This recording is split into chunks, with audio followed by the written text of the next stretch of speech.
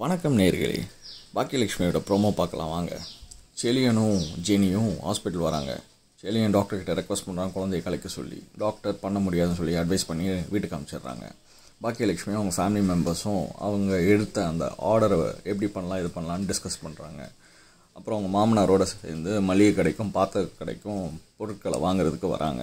பெரிய அமௌண்ட்டாக அட்வான்ஸ் கேட்குறாங்க ஆனால் இவங்களால் கொடுக்க முடியல. சின்ன அமௌண்ட்டாக கொடுத்து அவங்கள கன்வின்ஸ் பண்ணி வீட்டுக்கு பொருட்களை இருக்க சொல்லி வந்துடுறாங்க. அப்புறம் வீட்டுக்கு அவங்க நெய்பர்ஸை எல்லாம் கூப்பிட்டு பொருட்களை எல்லாம் டிஸ்ட்ரிபியூட் பண்ணுறாங்க அவ்வளோதான் நேர்களே இன்றைக்கி சேனலை சப்ஸ்கிரைப் பண்ணுங்கள் லைக் பண்ணுங்கள் ஷேர் ஷேர்